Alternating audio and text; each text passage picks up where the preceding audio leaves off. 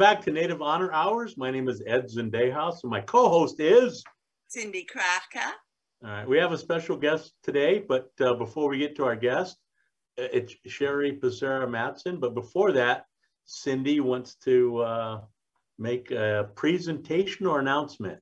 Just, I just want to say it is National Day of Remembrance for U.S. boarding schools. We wear orange in remembrance because of a young Native girl who, whose orange dress was taken away from her. So far, they've found over 6,500 kids buried from the residential schools. And it really affects a lot of us. Most of Ed, our parents, our generation were the boarding school generation. My mom was in boarding school. My grandma was in boarding school. My great aunt was 12 years old and died at Carlisle. So the boarding schools really affect us all in the long term historical trauma, how we were raised, how our parents parented. So today we just like to uh, call a little attention to the problem. Well, I, actually, I was speaking a little bit, actually a lot about this in my classes today. So we we covered that, and uh, I, I think it's a story, not a story, it's a history that is uh, swept underneath the rug. And I think I think now today there were more attention is being called to that era and also the long uh, lasting effects from that. But we're also well, here. The attention was taken away because our parents didn't talk about it. I don't know one story from my mom at the boarding school. So they just didn't talk about things like that. And if they would have, maybe we would have understood ourselves better. It would have helped me understand who my mom was.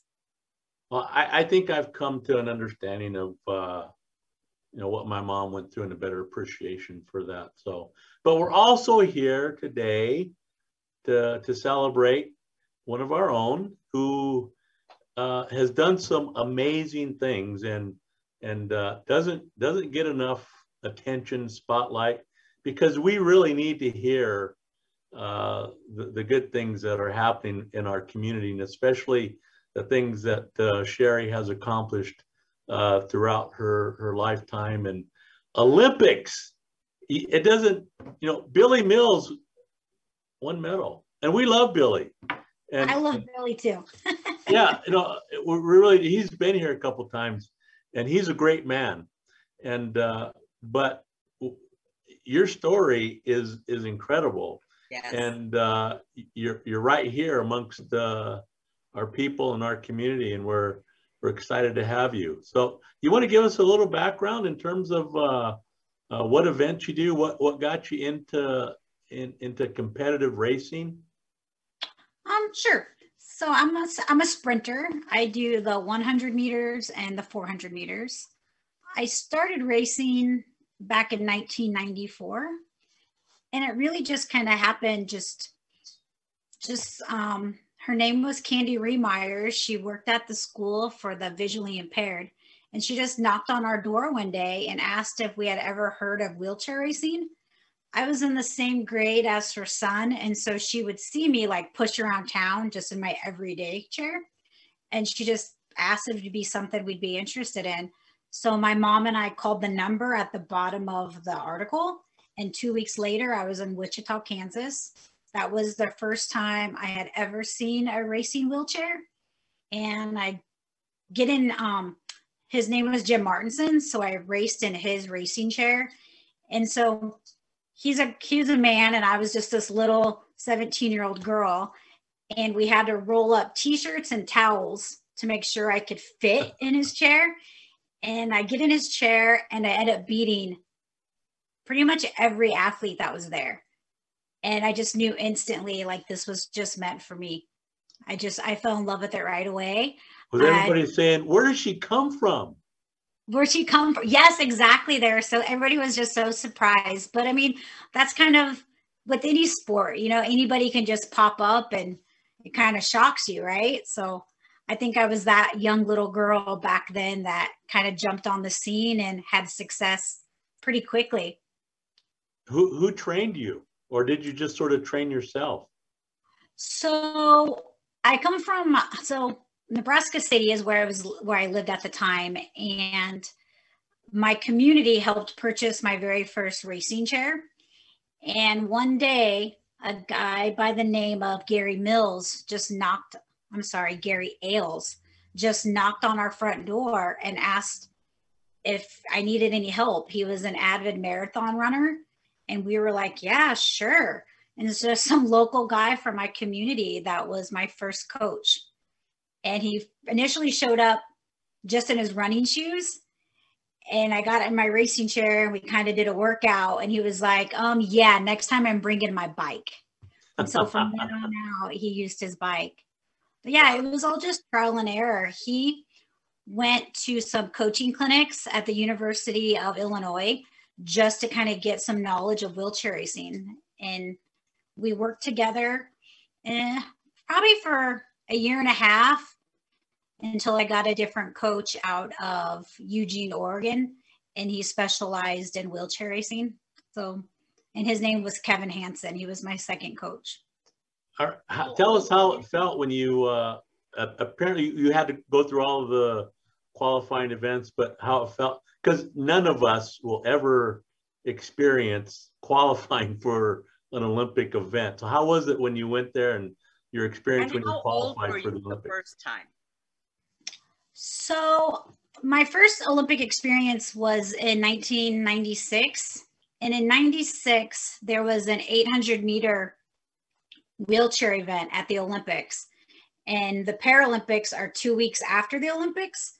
And so we had the Olympic Games first, and we went right after the 100 meter men. So it was a packed stadium.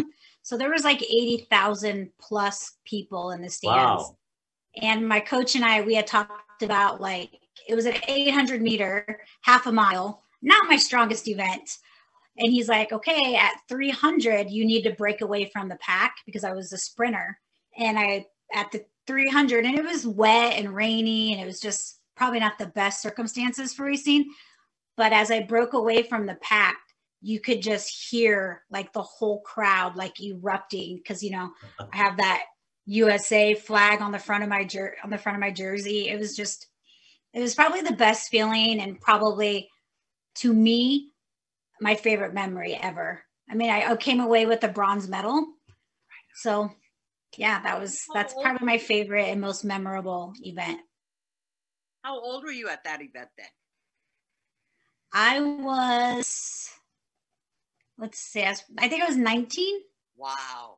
Very yeah. young for that kind of pressure. Yeah. And, that was no, like two years after you got your first... I have to say, um,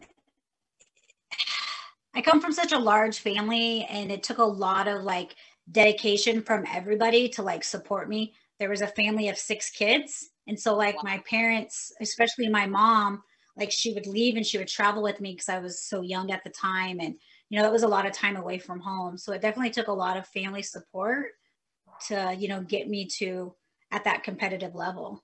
So very thankful that, you know, my family was able to support me. Well, my, my, I have eight kids, and my older kids used to run a lot. My sons, and they did the the summer AAU and the Junior Olympics, and most of our summer vacations were spent uh, traveling to wherever the meets were for my sons. My sons.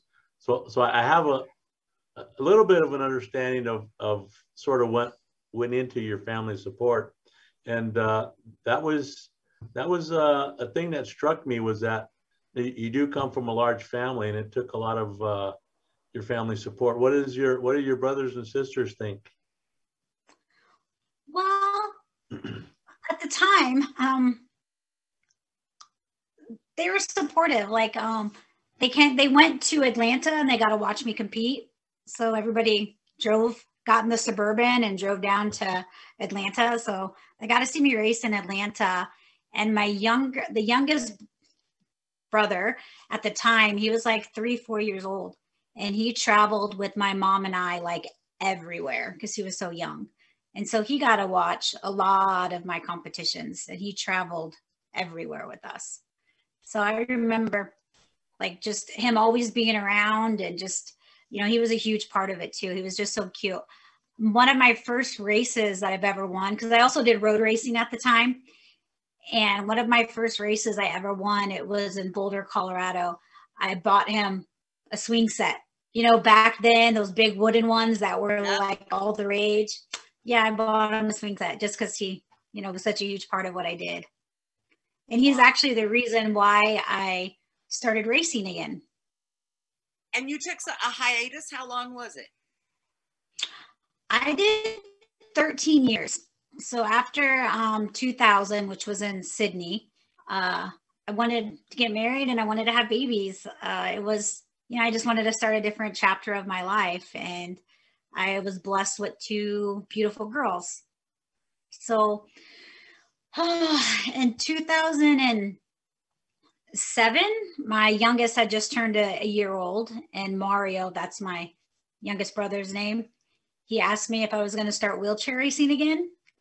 And honestly, I thought he was crazy. I was like, I just had a baby. like, racing isn't anywhere in my mind. And he was just told me that he believed I could still do it. And he wanted the girls to kind of share those same experiences he had growing up. And I was like, okay, Mario. like, I just kind of honestly laughed him off because it just wasn't something at the time that I was interested in, really. And then December of that year, December 23rd, um, him and my dad were, um, they died in a car accident just Oh. a half a mile from my house. A train clipped the back of their car and they, they both um, passed away instantly. I'm So, so sorry. you know, his and I words that- kind of sat with me after that. I mean, and it I read definitely where you when you came back, and you wanted That's to honor why, you know, his, his words, you know, it meant a lot. Uh, and and I read where you you- where you came back to honor the memory of your brother, That's him. and uh, you, you did quite well almost immediately, right? Or I did. you know, I feel like he's always just with me. He's never really left me. How hard is it to train with two small children? Well, now they're big. Um, my oldest is in college, and my youngest is a sophomore in high school. Um, when they were younger, because I've been doing this now since 2013, it, it was fun. Like they would go to the track with me, and sometimes I'd like chase them down when they were little. So they were a part of it when they were smaller. And I think the worst part was just like having to leave them all the time. You know, but technology is so great, like with FaceTime and stuff like that. So I mean, I definitely did my best to, you know, keep in contact with them. And, you know, you always get the phone calls of, Mom, when you gonna come home? You know, every parent hates that, but, you know, I was doing what I loved and I wanted them to experience it. Well, you uh, you, you just completed what the, the last Olympics is uh, just a couple months ago. Tokyo, yes. How and they was couldn't that? go. Like nobody could go to Tokyo. It was so sad. That was always the goal. Well, how was that experience for you? Did did you go in? I know you said that you're done, right? Yes. You know, going into Tokyo, like my coaches are from Texas. And we had a lot of discussions about Tokyo, especially with the whole year of COVID. So, like for me, I just got a year older, right? And I'm still trying to, you know, figure out like training and all these things. And then all these younger girls got stronger and faster. And so, quite honestly, I was nervous about even making the team. I was just like, I hadn't seen anybody race in a year. And so, you don't know where anybody's at. You know, normally in the past, you know what everybody's times are, you've met up with them. Just, I had no idea. So, when I made the the team, it was like a huge relief. And then my coach, her name's Wendy, she was like, All right, now we have to worry about medaling. She goes, That's going to be the hard part. And so I was definitely nervous going into these games than any other games I've ever been a part of. You sort of had something to prove to the young ones, huh? I think so. I mean, it was it was tough. Like um, Hannah Dederick, she just um, she'll I think she just started college. Yeah, and I've raced with her for these past four years, and she kept getting faster and faster. So I knew she was coming, and so this year she beat me, eh, like maybe three times in the hundred, and it was always just by you know, hundredths of a second. So we were always battling all year long. And so when I got bronze in the hundred, I was like, I guess I I did it when it counted, but it was tough. Like I don't know if I could do it again. You know what a great role model for women to say that, you know, no, you're not too old. You could still do this and do it well. That's amazing. Yeah, I mean, I don't know if you were able to watch the race, but I definitely waited until that last that last three one hundredths of a second to pass her. But it was it was great. I mean, I didn't medal in 2016 in the one. I think I finished fifth. And so to come out this time on, you know, in third place with two younger girls that beat me. So I was, I'm good. I'm happy with my performance. So have, have you thought about maybe I'm not done? Maybe there's maybe one more Olympics in me? No, because I don't want to get beat. Um, I just I don't want to. In like my mind, you know, I put three to four hours in a day training, and I couldn't imagine going and not not medaling. And that's, I mean, I know that's a risk every time you you know you go to a games, but I went into Tokyo knowing that this would be my last Paralympics. I'm just turned 45 and I mean, I know age is just a number, but at, you know, at some point in time, that number does start to catch up. And, you like know, Tom I'm- Brady, you never get old. he might not never get old, but um, I, I certainly am. Do you have any plans for uh, maybe coaching or maintaining some presence in the sport? So after talking with my coaches, so I still have like um so like um I'm on the US national team and so I'll be on the team until June. And so I'll probably finish out my national team status. And so like next season I'll do a couple meets and we've actually talked about doing like road racing just to stay like in shape and you know still be a part of my you know the wheelchair racing community. Um another thing is I go to Texas quite a bit. They have a really good um, youth sports program. And so I go down there and I help my coaches quite a bit. Um, I don't know. We'll see. What, we'll see what the future holds. Like I just want to stay relevant, and you know I want to give back in any way I can. Well, you're a role model for a, a lot of young Native girls who don't hear, get the message that you can do this. You're giving them the message that, yeah, you can. You know, and I I I feel like I definitely do, and I feel that same way towards my own girls because you know they they've seen it firsthand. You know what hard work and dedication you know can do for you. Um, I definitely, you know, it hasn't always been like the best. I've definitely had bad meets and I've definitely had injuries that I've had to overcome. And so they've seen all those trials and, you know, how I overcame all of them. So, yeah, You kept getting if I back can up. share my message. That's a great thing for our daughters. You kept getting ba- back up no matter what. That's amazing. Thank you. I, I, I know there was a documentary done on your life, right? Yeah, it, they, um, Nebraska Educational Television followed me around through my um, 96 games. So it's called um, the Cheri Becerra story God Made Her for the Sport. Man, what a cool title. Yeah. Yeah, it was it was a lot of fun. That was that was a good experience just for me and my whole family. But that was only chapter one. Have you thought about, uh, you know, maybe writing a book or you're laughing? I'm serious. Because everybody says that. Like I hear it all the time. I don't know yet. We'll see what happens. Because your story needs to be kind told. of discipline. It does. It does, definitely takes a different type of discipline. I don't know. I don't know. I always just laugh because you know I come from such a, a a big family, and you know my mom was so instrumental in everything, and you know she just she passed away in 2019, and you know we always talked about like writing a book, and she was all like, "What are you gonna put in your book?" So I don't know. That would have been my mom. What are you going to say about me? Yes.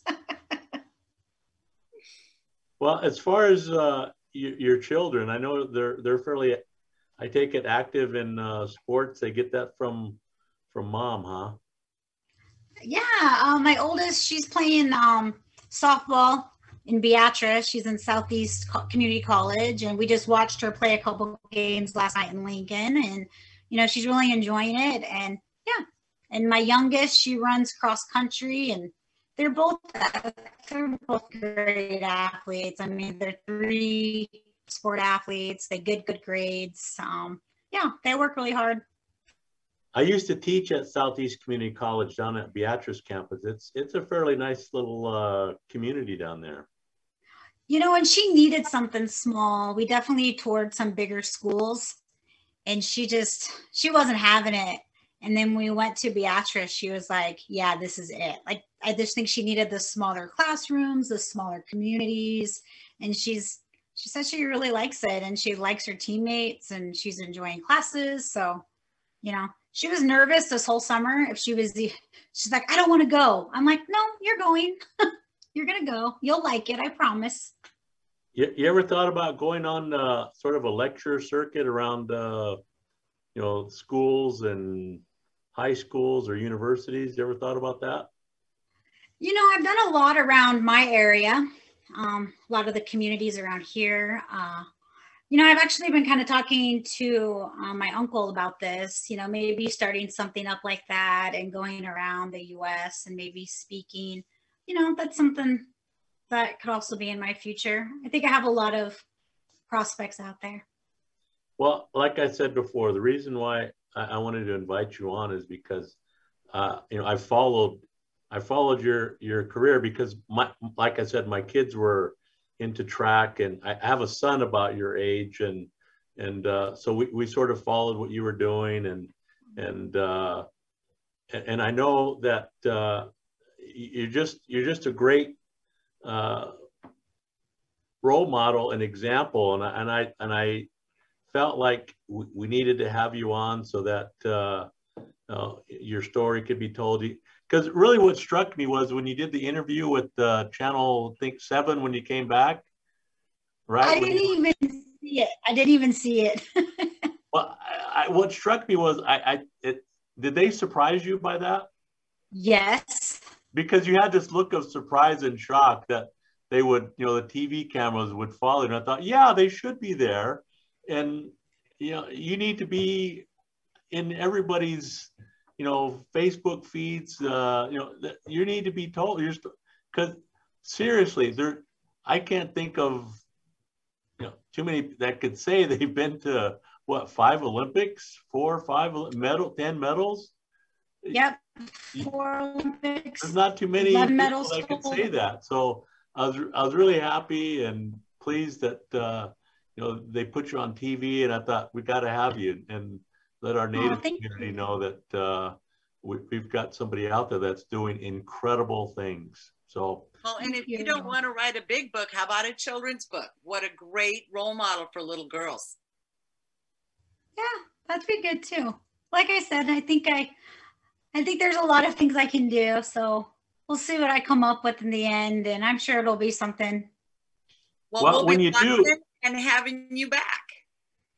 I was going to say, when you do, let us know. We'd be happy to, to have you back and and uh, share some more of what you're up to. But once again, we're, we're, oh my goodness, look at that! Wow, these are the ones from Tokyo. My wow. silver for the 400, and my bronze for the 100. See, that's as close as Cindy and I ever get to anything like a medal. yeah, even seeing one. Wow, that's amazing. Now, if you put a sandwich up in front of us, we're there. You're there, okay. you could make it into a beaded medallion. well, thanks for coming on, and and uh, we'll, we'll, we'd like to stand. If you do something, you announce you want to come back, or you want to, you know, start racing, or whatever you want to do, let us know, and we'll be happy to to inform the community. And uh, like I said, we would we'd love to hear more from you regarding if you want to write a book or they're going to do another movie on you. Let us know. Oh. because I'll let you know whenever you come on our show, people just blow up. I mean, they become big stars once they make an appearance on our show. Oh, this is the beginning. yeah. no, we have about 10 ded- dedicated followers. I need all the followers I can get. And he says that. We are also on Spotify. We are on Facebook. We are on public television and Insta. Kenny just put us on Insta, Ed. I don't even know what that means. You know, you know who I'm going to nominate? Cheri, you watch Res Dogs? I yep, I already watched it. I, I'm going to throw out here. I know you're going Right, to me, brother Gary. Brother, Brother Gary, Gary, for, okay. for for for the finale takes a lot a lot of takes a lot to do that, brother Gary. And for that, I'm I'm nominating you for Indian of the Week. Uh, here's a knucklehead of the week, Cindy, and and this comes from uh, Cassie. You know, she posted. Somebody wrote an editorial on some newspaper saying, and this is appropriate for today. Said you just need to get over all that uh, boarding residential school stuff. It happened. Move past it. So to whoever whoever wrote that article and whoever thinks that way, you're you're bigger than a knucklehead. But you're a knucklehead of the week if you have that type of attitude about what happened in the Indian boarding schools and to the kids and what's happening today. So with that, Kenny, once again, thank you, Cheri, for coming Thank on. you. It was uh, great having having you me. And uh, very, very, very proud of you. Can't say enough about all the things that you've done for our community, and it's just incredible to me. And just the thought of uh, even seeing an Olympic medal, I'm just like, that's incredible. Anyway, Kenny, want to take us out? Thank you, everybody. See you next We'll week. see you next week.